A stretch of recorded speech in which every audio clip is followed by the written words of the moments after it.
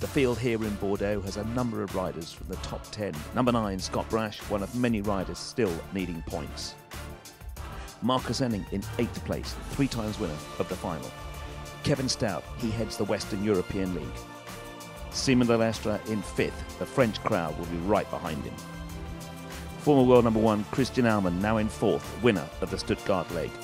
And still, world number one, the German Daniel Deusser.